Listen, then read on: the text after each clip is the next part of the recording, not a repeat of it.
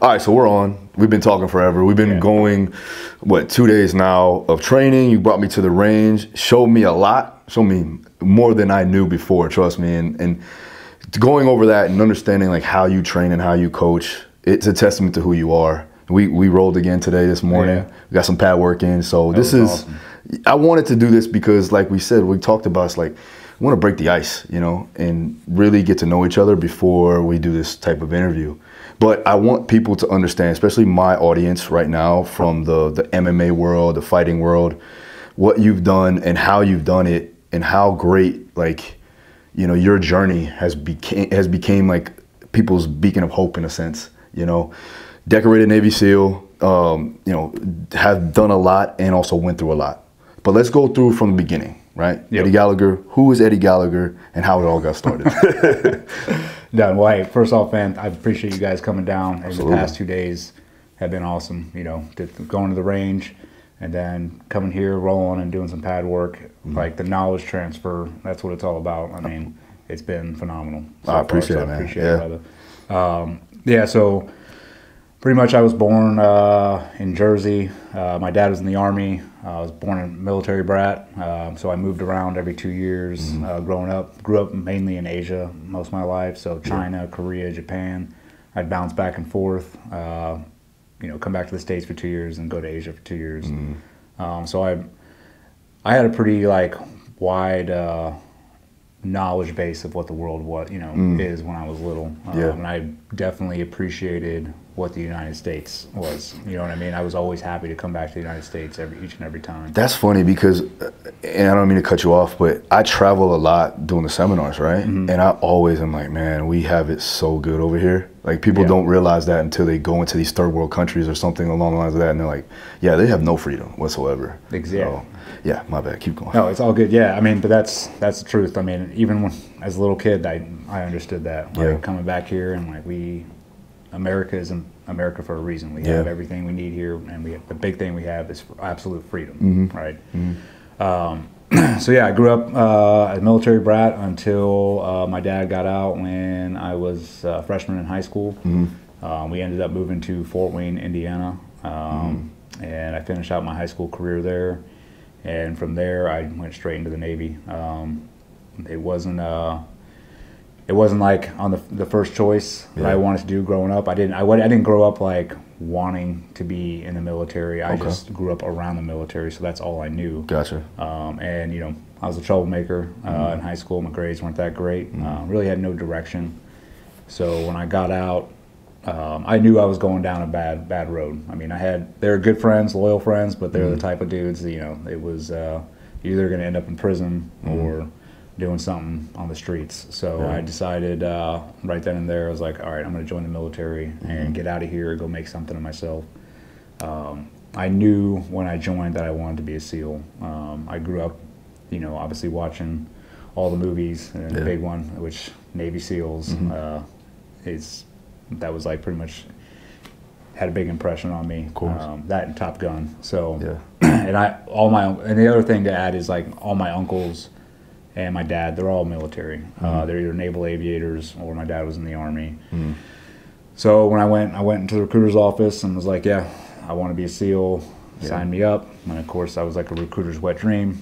He was like, "Yeah, no, no problem." Yeah. Uh, you know, so Super athletic still at that point. You were playing soccer, um, right? Yeah, I grew up playing soccer. Uh, my parents definitely forced athletics on me Yeah. Mm-hmm. every year growing up. So I, I, you know, I, I dabbled in every sport, but soccer was my main one. I played basketball, tried gave baseball uh, about a year, um, but soccer was like usually the main the main sport I was playing. So I had some yeah some athleticism. Um, you know, obviously. By the end of high school, I wasn't playing anything. I was more out there partying, chasing girls. Uh, so um, when I decided to join the Navy, that's I sort of like a, a flip or a switch was flipped in my brain. I was like, okay, I need to get in shape. I need to start training to be a warrior. Yeah. Uh, that's and that's pretty much what I wanted to be. Right? I was like, I want to be a warrior. I want to be like all these dudes I saw on the the big screen. Um, but little did I know what that had what that entailed. It was just a, a thought. So ended up joining them, uh, the Navy, went to boot camp, and then uh, I didn't have a contract to go right to Buds to be a SEAL. Uh, the recruiter duped me on that one, so it actually worked out to my benefit. Um, I chose to go with the Marines. Oh, Um, really? So yeah, I was a medic. I went to Corps School, which is a medic in the Navy, Mm-hmm. and the Marines do not have their own medics, so they rely on the Navy to provide them. Um, Okay. So that was an option. I raised my hand. I was like, "Yeah, I want to go with the Marines." Um, so I spent my first four years in the military with uh, First Battalion, Eighth Marines, um, which provided so much opportunity. Um, you know, the whole time I wanted to be a SEAL still, so I was training. I was obsessed. Uh, How old were you at this point? um, I was 19, 19 and Oh, so 20. you're still super young. Yeah. but I was, you know, like I said, that switch was flipped, so I, I became obsessed. So all I did was just train twice a day, every day, uh, swim, run, do all the calisthenics. Uh, but then in between that, I signed up for as many schools that I thought would benefit me to get me prepared for BUD. So I went to assault climbers course, uh, Marine combat water uh, instructor. Um, I became that's a real tough course. Ended up making it through that, and then I was definitely privileged enough to go to Marine Corps sniper school. Um, so I, you know, got through that, and then during that whole time, 9/11 had kicked off. Obviously, uh, so we deployed. Uh, my first deployment was pre 9/11. Um, not much going on there. We did some stuff in uh, Kosovo, uh, but that really wasn't any action or anything. Gotcha. Um, Yeah. And then 9/11 kicked off, and we ended up deploying um, about a year after that, and that's when the invasion was happening Yeah. uh, in Iraq, and everything was sort of brand new as far as war. So at the moment, so you went in as a Marine in the I was in first the Navy. deployment in the Navy still. Yeah, but okay. attached to the Marines. Attached to the Marines. Okay. All right. Excuse me for my unknowledge. That's all. Yeah, I mean, and even people in the military have Yeah. a hard time understanding. Gotcha, gotcha. So I know that there may be some that are listening, like, and and I've heard before. It's like you can't really get ready for buds, but like, what are the main things that you would look at? Like, because you said you you did your prerequisites before. Yeah. You got in there. What are some things that somebody not in maybe not in the military that can do to prepare for that? So yeah, I mean, the big thing what I tell people is you, you're never going to be fully prepared for buds. Yeah. Buds is a, more of a mental game than sure. anything, right? Yeah. But what you can do to prep yourself for that is be as in the best physical shape as possible, Mm-hmm. showing up there. Um, by doing that, by be, becoming obsessed, and by making sure you're mentally or physically prepared to go, and you're putting in the time each day and staying consistent, you are going to build up mental resiliency by doing that. Um, and so that will also help when you get to buds. But you know, I tell guys now that they get asked questions, you know, I'm like, hey, when you get there, just know like you're going to show up in the best shape possible, but you are going to. It's a grind. They're Yeah, going to beat sure. you down to hamburger meat, and then they're going to keep on doing it. Um, Gotcha. And it's just you need to have that resiliency and that mental toughness to get up Mm-hmm. each day and go through it again. Um, you know, the, when I was going to Buds, I asked some SEAL. I remember I was like, "Hey, what's it like?" And he's like, "It's like getting in a bar fight every day and getting your ass kicked, and then waking up and going to do it again." Doing it again, yeah. Um, and that's all it is. It's a grind. Uh, but just preparing physically will also get you prepared mentally as well, Mm-hmm. um, and staying consistent. Gotcha. So now 9/11 hits. What happens then? Uh, so yeah, one eight. We were on a deployment. Uh, they ended up we ended up going into Mosul, Iraq, um, but that was for a very short stint. I came back from that deployment and got my orders to Buds uh, right off the bat. So came back from there, um, got my orders, drove from North Carolina all the way out to San Diego, and checked into Buds and uh, was in class. Started off in class two five one and I ended up getting rolled in second phase for pool comp, which is uh, another test gate during second phase diving, um, and I ended up finishing in class 252 and graduating. Gotcha. Yeah. How physically, eh, how mentally draining was it just to go through that situation? It's it depends, man. Like I, the road to get there for me was really tough. Um, I, I kept on getting told no, no, no every time I screened to go to Buds. Um, Yeah. Just because they wanted to keep their numbers at, with the Marines, you know. Um, so by the time I was actually allowed to go, I was beyond happy to be there. I Yeah. mean, I just I was in a positive attitude the whole time, even when we were getting beaten down. I was just grateful that I had the chance to be there. Um, it is definitely stressful. Um, a lot of the things are mentally. There's not. You don't have to be a brainiac to go. Um, but the constant pressure that's put on you there to perform, to especially to perform, you want to be at the top, uh, and then pass all those test gates. It's nonstop, so it's a constant grind. So yeah, it is uh, mentally taxing. But the good thing is, you have ample enough time to take care of yourself. So you have the weekends off. So it's you know if you're not taking the time during the weekends to like lick your wounds and recover, um, then yeah, it's going to be a lot tougher that next week. And some guys end up doing that. They'll go out to the bars, party, do whatever, and then the next week starts and they're weaker than they were the week before. Sure. Uh, so I mean, there's it is tough, but you can also take advantage of the free time to make sure you're prepared for that next week. Gotcha. Okay, so get through buds. Now you're fully a Navy SEAL. Yep. Well, obviously there's other sections Yeah. I have to go through, right? So yeah, you go, you get done with buds, um, and then you check into SQT, SEAL Mm-hmm. qualification training. So you don't have your trident just yet. Um, you go through another, I think it's, it was like six or seven months Oh, of. Uh, it- it's like advanced training.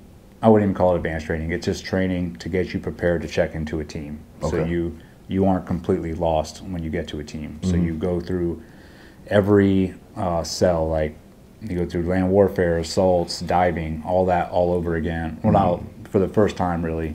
Um, and so when you get to a team, you're not just, you know, the team knows what to expect. Um, everyone's on the same sheet of music Okay. as far as Okay. training. But you earn your trident at the end of that, at the end of SQT.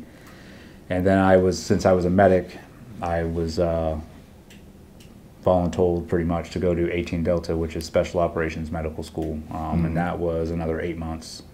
Um, that actually was probably one of the toughest courses I've ever been to. Yeah. Um, yeah, you are drinking through a fire hose. You're pretty much learning everything a med student learns in that eight months, and Yeah. you're expected to pass. Yeah. Yeah, super all these written tests. Um, so that was that actually was probably the toughest part for me Mm-hmm. because, like I said, I wasn't a good student in high school. I didn't Yeah. have the discipline. Yeah. So there, it forced me to be disciplined. It forced me to be staying up late, studying. Yeah. Um, you know, making sure I was passing the test. It's amazing that like when you get to a point where you actually want to learn a, cer- a certain subject, Yeah. how well you can stay on task and focus on it, as opposed to just going to school when things you really don't want to learn. Yeah, you know what I mean. You have a purpose. There's So such a purpose yeah. there. So like even when you're learning here, like you're you're in in the moment, you know. There's Yep. nothing else going on. The focus is pinpoint accurate. And I think a lot of people kind of miss that or misinterpret.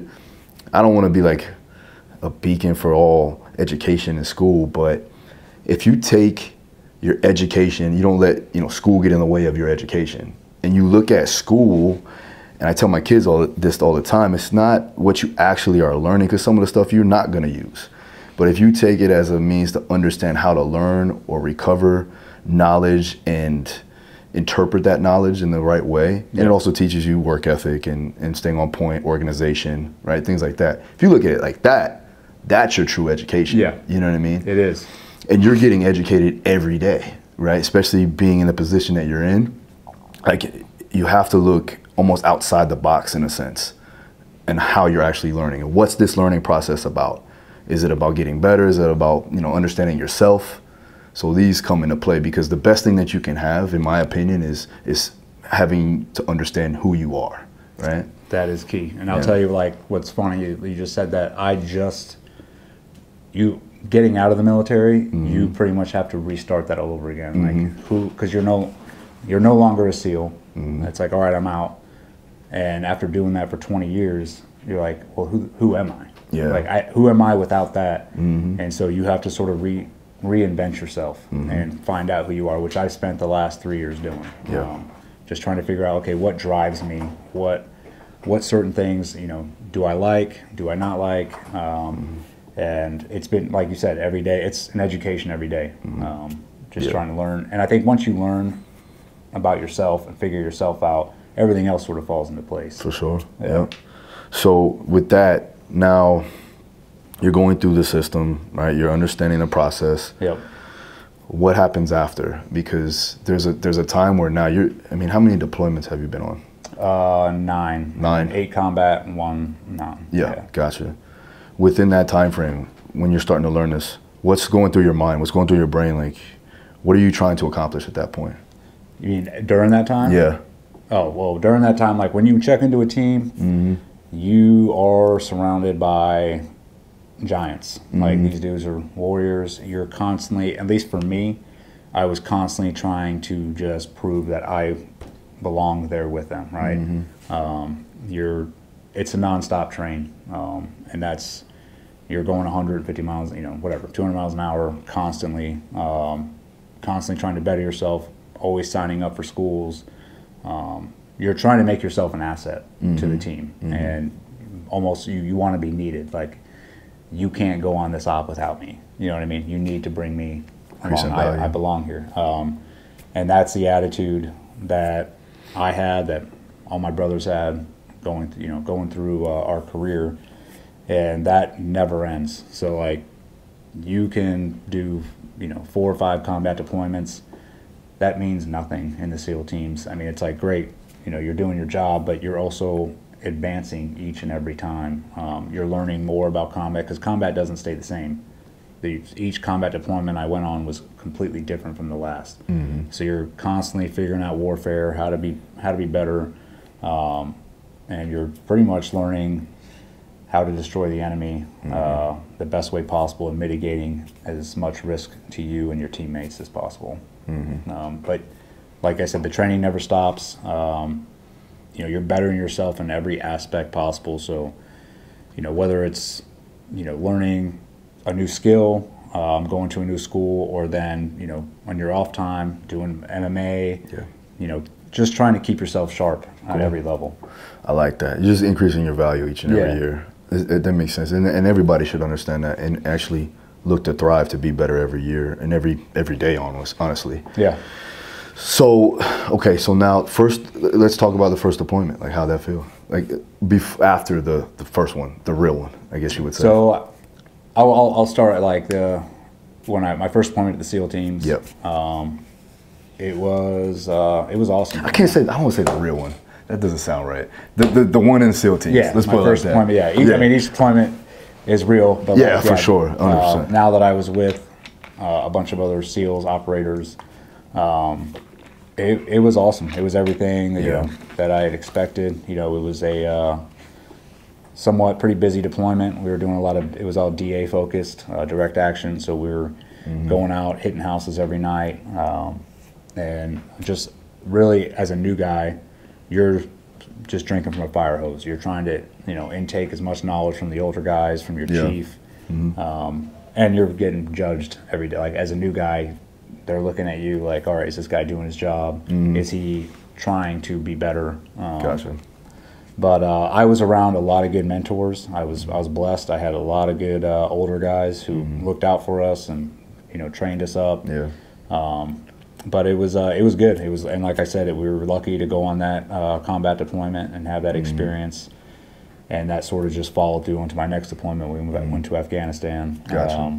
and that was another pretty awesome, busy deployment. Uh, but that was now we weren't a new guy anymore. You're stepping up. You know, you- you're only a two pump chump, what they call them, but at the same time, you are starting to get put into leadership roles right away. Yeah. Um, so now you're in charge of a fire team, maybe, or Okay. you might be in charge of one or two guys. Um, and that, like I said, each each deployment comes with a new experience, and then you're just building off of that, um, all that knowledge. And so, by the time you come around to your third or fourth combat deployment, that's when you start realize like, oh, I have all this knowledge that maybe these guys below me don't, and then you start dumping that onto them, mm-hmm. like, mm-hmm. and you're really just trying to make them better as mm-hmm. well. We talked a bit about like experience and your ability to stay calm under pressure, right? And you were telling me a story about when guys were getting shot at and like things were going crazy, like how you had to be the one to keep them all level. How's that experience and how, how do you go about actually keeping them calm in the face of absolute adversity? Well, we got. I mean, there's a saying in the teams, you know, calm breeds calm, right? So, you actually, I actually learned this through training um, during CQC training. Actually, when we're, you know, you're taking down structures. Um, so when you stack up against the door ready to go in, you know, if you have one guy in the train that's amped up and he's like, here we go, here we go, and you know, bolts in the room. Well, that's sending a chain down the rest of the train, and now everybody else is amped up and they're running in there, Yeah. right? And what if you react that way and you you know enter a room that way, you're going to drop something. Um, so we definitely focused on like, hey, remain calm. Uh, you know, everything you do should be methodical. Um, there is times to amp it up, but you should remain calm. Try to remain calm throughout, even you know during firefights or whatever. You know, keep your head on a swivel, but have maintain uh, your cognitive ability to actually give orders, um, give direction. You know, and you can't do that if you are amping yourself up and letting the situation. You don't let the situation dictate how you act. Sure. Right. Um, but that comes with experience, you know. And I, I could say like you know the first firefight I was in, I was definitely like, oh shit, like you know Yeah. we talked about it. These are real bullets coming. I was, uh, you know, everybody's scared. They don't want to Yeah. get hit.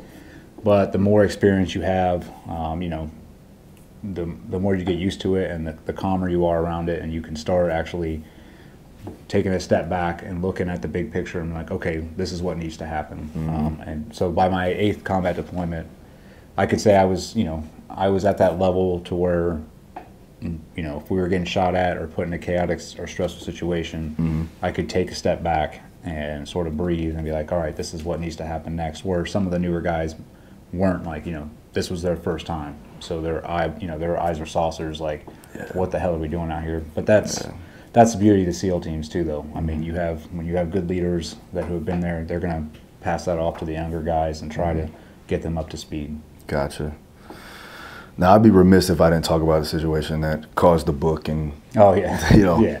your your uh, vacation in a sense Yeah. for, a couple My nine paid months. vacation. nine and a half nine and a half right Yeah. nine and a half.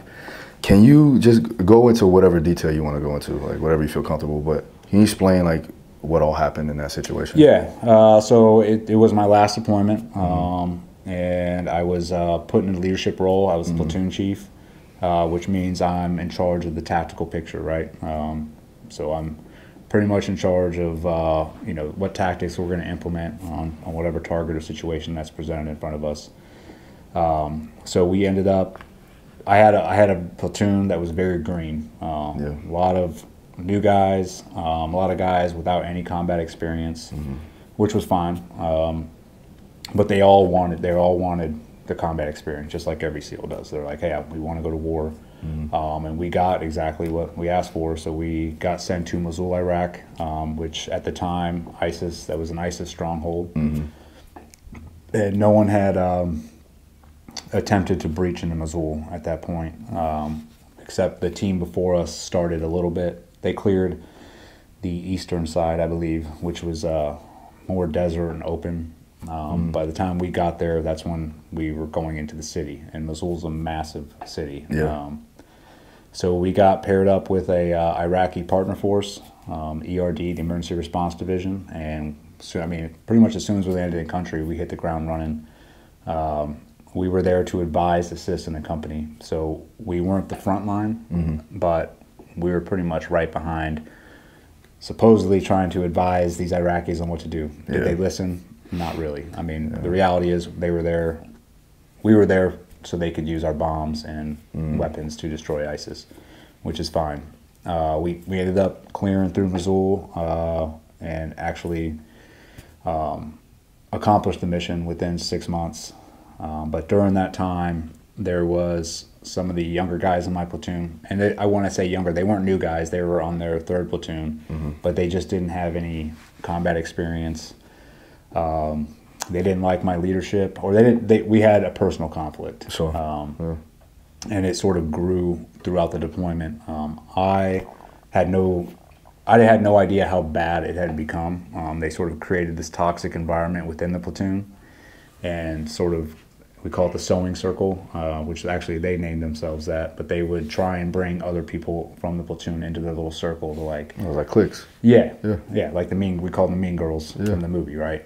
Um, so this this was happening during deployment, and by the end of deployment, it had sort of come to a halt. Or an, um, when I found out, I found out what they were doing, Yeah. and so I called a meeting and was like, what's going on? Like, let's get this out in the open. I'm like, what, what are the issues here? And basically, the issues that were thrown at me was, you know, we don't agree with this mission. You're working us too hard. We don't want to go out every day, um, which I never thought I'd hear come from my uh, SEAL's mouth. Um, so, it, me being in that leadership position, I had a very hard time dealing with it because I've never dealt with that before. What what was so hard though? Like I, I don't want to sound like that, but what I want to say, like, don't you know what you're getting into? Is that that kind of doesn't? Because I go through the same thing from a leadership standpoint. Yeah. With other with people that I have to lead, and I feel you. Like if you're not on, some people are just mediocre at heart. Yeah. And if that's the case, then they are not supposed to be a part of the situation. Yep. And that's so those are the talks I had. I mean, I would literally sit them down and like, do you understand Yeah. what a golden opportunity this deployment is? Like, no one else is getting this type of action or experience right now. Mm-hmm. Like, other platoons were filling sandbags for six months. And I was like, they would give their right nut to be here in your position. Mm-hmm. Um, and I'll tell you, there's a lot of uh, stress or like shame in the SEAL team. So, like, these guys would not admit one in one second like oh i don't want to be here. But their actions that's what their actions said. Um, so it was very hard because each time i have these talks like well no we, we want to go. Yeah. but we don't want to go this hard. We want to you know have breaks. Um, and i you know and i was a uh, just a no bullshit leader. I was like we're not going to change what we're doing i was like you can either stay on board or leave i'm like mm-hmm. this is a volunteer program i'm like you can leave anytime Oh wow. Um, so they weren't even stuck there. No, they could have. I could have switched them out. Mm-hmm. Um, you know, and they would tell me like, "No, we want to stay." And so I gave them the benefit of the doubt. And I actually, you know, there's some leadership traits or some leadership lessons that I've taken away from it. You know, I was definitely not empathetic to some of their needs. You know, I mean, it is what it is. Yeah. You know, they it was a very chaotic, stressful deployment. Um, there was a lot of uh, carnage. I mean thinking back now uh, from what we saw, you know, we're seeing women and kids get mowed down in front of us. Uh, you know, we're climbing over dead bodies every other day, trying to get into positions. Um, you know, Yeah. we live next to a torture chamber um, that was right on our wall, so we'd go to sleep every night listening to ISIS prisoners get raped and tortured. Yeah. So that all can definitely have an effect, sure, yeah, right? yeah. And I think if you're not used, I don't think anybody's used to it, but if you're not like, hey, this is war, this Mm-hmm. is the job, it's not pretty, it's not black and white, um, then yeah, you'll probably have some some questions about like why am I doing this, Mm-hmm. um, which is I think where those guys were at. And I'll say this: the leadership, um, the upper brass, was coming to us once a month, um, giving us these speeches like, "This isn't your fight. Don't do anything out there that's going to get you killed. Don't feel the, you, the need to step up and like start, you know, taking it to the enemy. You were Yeah. Mm-hmm. there to advise and assist." Or I had a different thought. I'm like. I like, we're the ones leaving the wire every day, going out there playing hopscotch with IEDs, dodging VBIEDs, dodging bullets. I'm like, no, we Mm-hmm. are taking the fight to the enemy. Like I'm like, we've never been a defensive element. Like we're out here, we are going to crush the enemy as much as possible. Yeah. So there was those two uh, different elements too, which I think came into effect with these younger guys um, questioning while they were there. Um, either way, you know, everybody made it to the end of that deployment.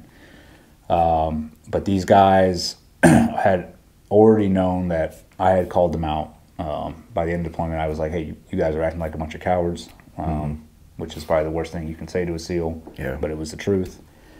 So when we got back from that deployment, they had decided to start a um, smear campaign internally, going around to different guys at teams, like just making up stuff about me, like, "Oh, this he's too aggressive, he's too dangerous," um, which I heard all those, and I'm like, um, whatever. Uh, But then they started really digging in, like, "Oh, he's a thief. He's you know, really attacking my character. So again, they were guys were coming up to me because I had a pretty good, uh, decent reputation in the teams. I knew a lot of people, so obviously they were coming to me like, "Dude, your guys were like saying all this stuff about you." So I called them in for one last meeting. And I was like, "Dude, this has got to end." Blah blah blah. We've had that meeting. They all agreed to like end it and go on with their careers, um, which is not what they did. They Yeah. then started going to the command, demanding. Um, so I had been put in for a Silver Star. Um, I was picking up senior chief. I was given a pretty good position uh, to instruct over at uh, training detachment, and they were pretty much like, "You need to take away all those things from him um, because he's dangerous and this and that." And the command was like, "Well, that's not what his fit rep says." And he, I got the number one chief out of the out of the team. They're like, "This guy is killing it."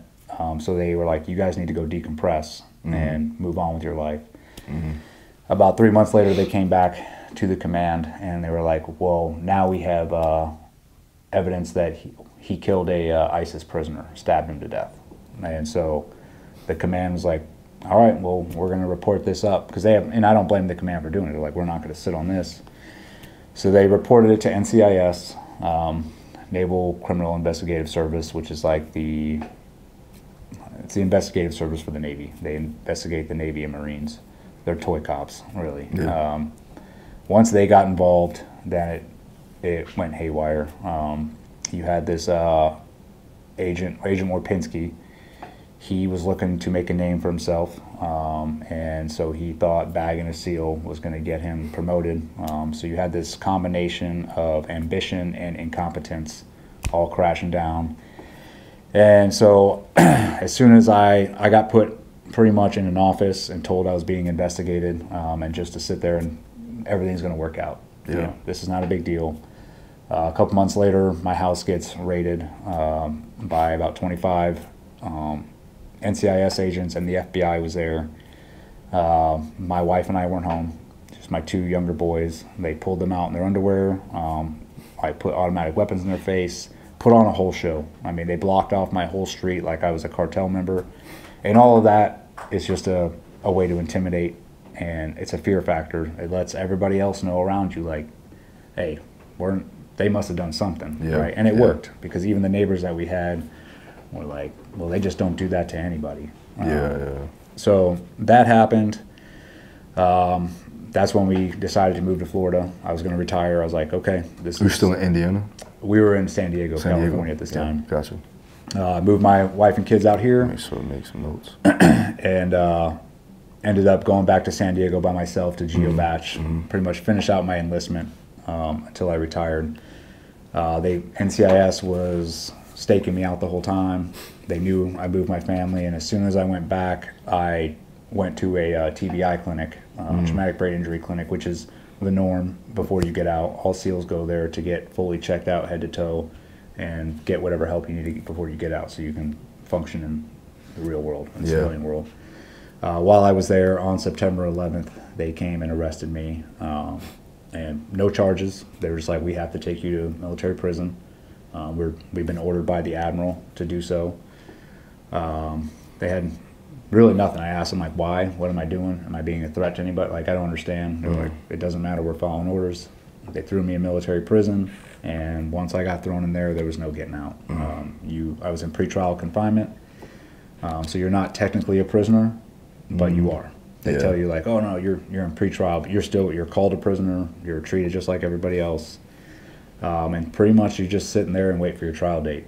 Um, and here's and it, this is all a tactic they pull, right? So they put me in there to shut me up, so I couldn't defend myself, while they went out and just went on a smear campaign through the media, um, through everywhere else. They just started dumping all this stuff. Where you couldn't defend yourself at all. No, not one bit.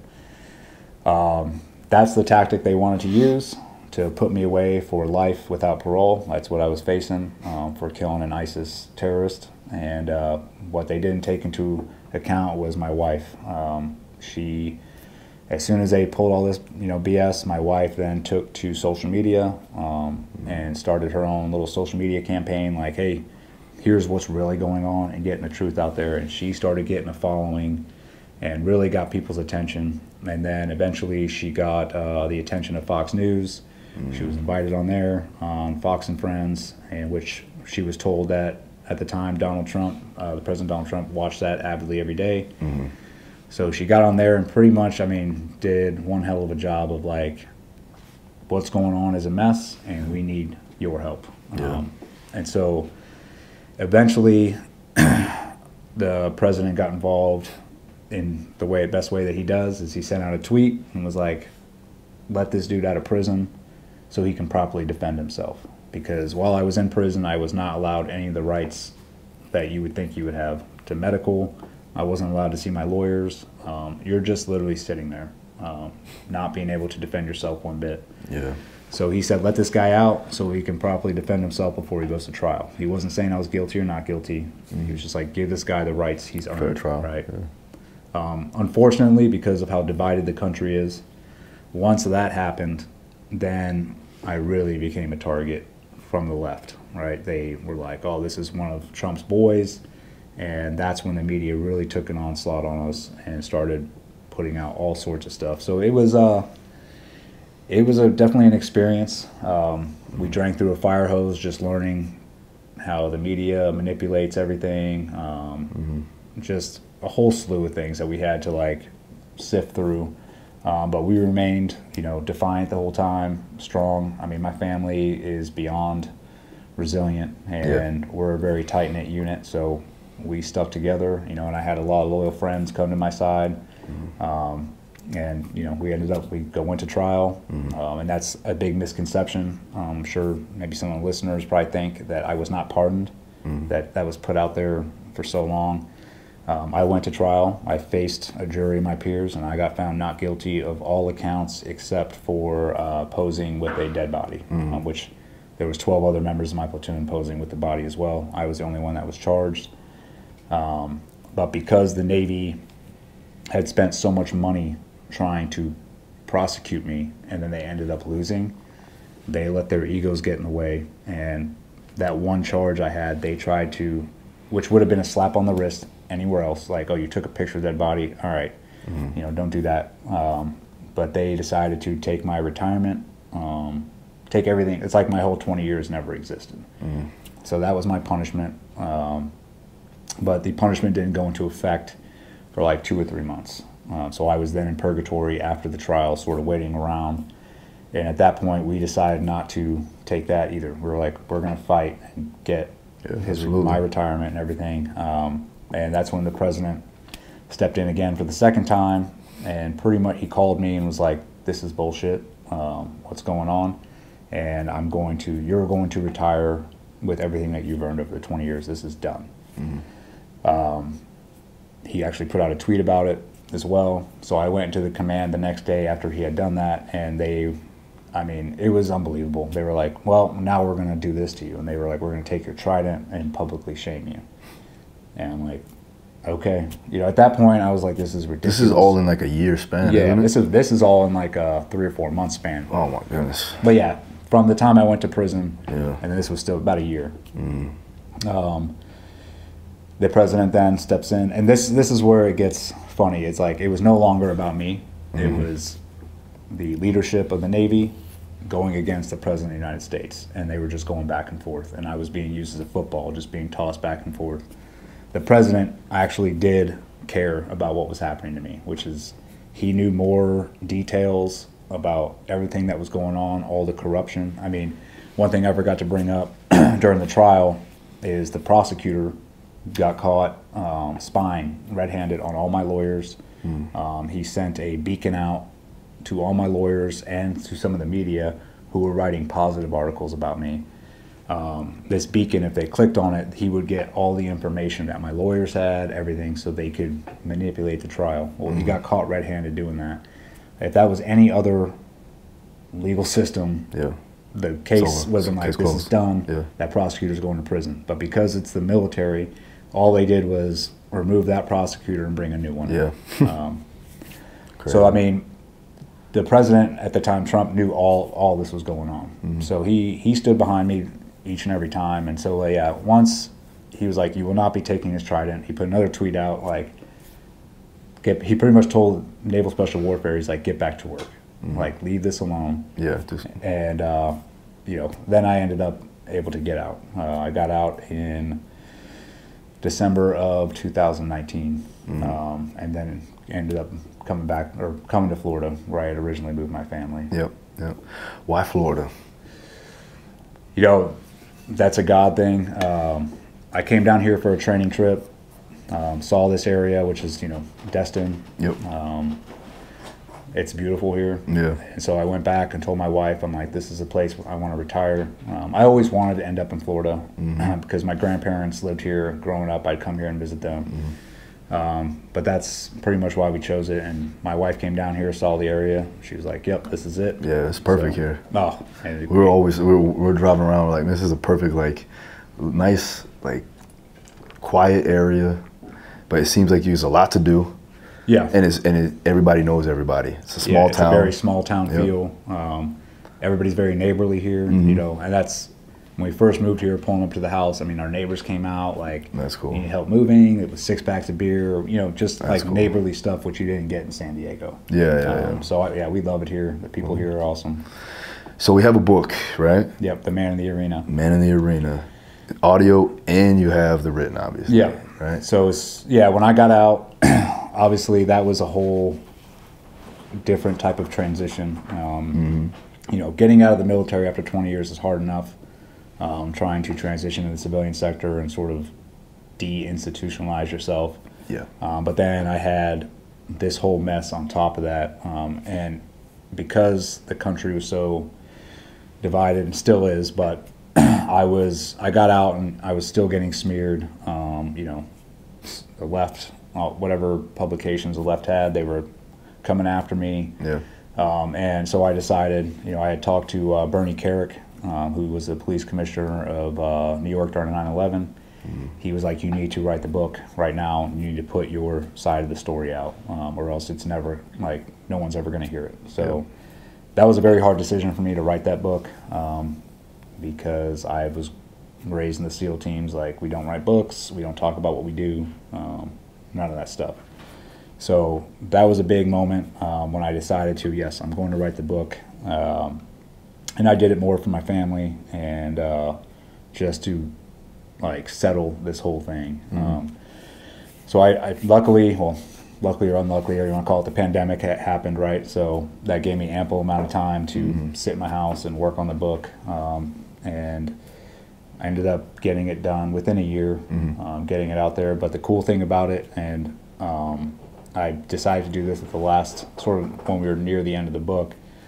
I was sitting there reading it, what I had wrote, and I'm like, you know, this is definitely my side of the story. Yeah. And like, so people can be like, all right, whatever. Mm-hmm. But what I decided to do, I had all of the trial audio, all the NCIS interviews, all the evidence that they were throwing against me. So I put that all in the book in QR code. So as you're reading it, you can hit on that QR code and you can watch all the unedited trial audio, NCIS interviews, see all the evidence they had, and you can make up your own mind, and which I think is a lost art in this country nowadays. The, the critical thinking aspect. Yeah. People just want to read the headline or the clickbait headline, and they make their well, this guy's guilty or this is what happened. For sure. I was like, nope. Here's all the facts, and you can make the decision for yourself, um, which I think was has been huge Yeah. so far for people. No, I, I mean, I definitely want to finish listening to the book. I feel like I know you more than anything right now. It's two days of, of nonstop, just getting after it with you has, has been amazing. Oh, it's been and, awesome. and meeting your wife and your kids is it's awesome. So I'm glad everything's working out. Honestly, we got things in the works that we want to do. Yeah. Um, you know, the, the combination of what me and you bring to the table is, is going to be phenomenal. But is there anything else that you want to push right now? You know, say say the say the slogan right now. The FAFO, the fuck around and find out. I love, we love that, man. That's the best thing ever. so, where can we get those shirts, and then also the book and everything else? Yeah, so well, the book you can get off of the Eddie Gallagher book.com or on Amazon. You know, it's on there. Um, so that that's still being sold. Uh, the FAFO. So I'll give a quick backstory to that. Yep. Just how we came up with this. Um, you know, during the trial or during that whole mess. And like I said, my wife, she was the savior. I mean, she stood up and fought for me when I couldn't. Um, and she was destroying the Navy, um, the government with just the cold hard truth. And she kept she kept at it. And she did not let them get away with one little white lie, and uh, they were losing their minds over it. And so I think at one point they had pulled some some other BS. I, and there was so much of it I forget which one it was, but she was like, nope. She's like, here we go again. She's like, fuck around and find out, and put out her, Perfect. you know. And I was like, that's it, That's it. right there. I mean, and that's the mentality we've pretty much had the whole time. Yeah. Like, and I think people, you know, look at fuck around and find out like, oh, let's like it's not aggressive. It's more like, hey, I'm cool, you're cool, let's be cool. But if you don't want to, like, I'm down for Whatever. whatever. We'll fight back. Yeah. You know. Absolutely. Um, and that's sort of the mindset. So when we, when I got out, uh, Nine Line, um, Mm. which uh, Tyler Merritt owns Nine Line, they were behind us the whole time. They were raising money for us for our legal funds, um, and so they gave me the option when I got out. Like, "Hey, we want you want to start like a brand or do some T-shirt thing?" And of course, I'm brand new to all this, man. Like Yeah. I have no clue what I'm doing. Uh, but I was like, "Okay, Doing well though. yeah, it's going good. Um, so I was like, hey, this is the brand I want. Yeah. Um, and he was like, done. So we started making T-shirts, uh, and I really we had no direction. We were just like, hey, we'll see how this goes, Mm-hmm. and it's it's been awesome to see how much it's grown, Mm-hmm. and just the how everyone's sort of taken on that same mentality and mindset. Yeah. Um, and yeah, it's been awesome. So you can get, I mean, the shirts are at Nine Line, or you can go on theeddiegallagher.com, which is my site, and see all the uh, different apparel I have. And I also do uh, weapons or guns um, here at Precision Tactical, which is a local uh, gun store here. Um, we make the Seek Battle Rifle, which is uh, you can get it in 14 and a half or 10 inch. We also do a Seek Battle Glock, and then brass knuckles as well. Brass knuckles are cool. I know they sell Yeah. out. Yeah. Right. Uh, if you do want to see that that gun in action, you can watch the other video of me at the range with this man here. Uh, phenomenal gun, by the way. I was I was I was hitting more than on that gun than the other ones. Oh, you're killing it. Yeah. Look at this guy. See this shit talker back there. Check out that video, by the way, and all the other videos that we've done for these in these past two days. Um, we're gonna do more things in the future, so stay tuned for that. And then Eddie, thanks so much for having us, and thanks for coming on the podcast, man. No, brother, I, dude, it's been awesome. You guys are definitely uh, my people, man. It's Appreciate been it, good man. hanging out with you guys for the past two days. Cool, man. Definitely All right. looking forward to it. Anything else? You're done. No, Oh, Instagram, Instagram, all the social media platforms. Yeah, so I'm, I'm mainly on Instagram. That's Mm-hmm. Eddie underscore Gallagher. Um, I'm on there. You know, you'll just uh, and also uh, the uh, foundation. I completely skipped over. That's the most Yeah. important thing. Um, through our, through this whole process, when I came out of the trial, we started the Pipe Hitter Foundation, um, and what we do is we help active duty law enforcement and first responders if they're put in an unjust situation, just sort of like we were, and we step in, we um, provide emergency relief funds for their family as they're going through that stressful time. We raise money for their legal fees, and then we will also go advocate for them. Because during all that mess, my wife created the roadmap. My wife and my brother Sean, and I don't want to leave him out because he was definitely a huge part of it. They created this roadmap how to defeat the media and all their BS, and um, they got the right contacts up in Congress. Nice. Um, so we utilize all that to help others now, and which is the point. Um, Perfect. Which is why we started it. Love it, man. All right. That's it. That's a wrap. Hope you guys liked it. See you again next time. All right.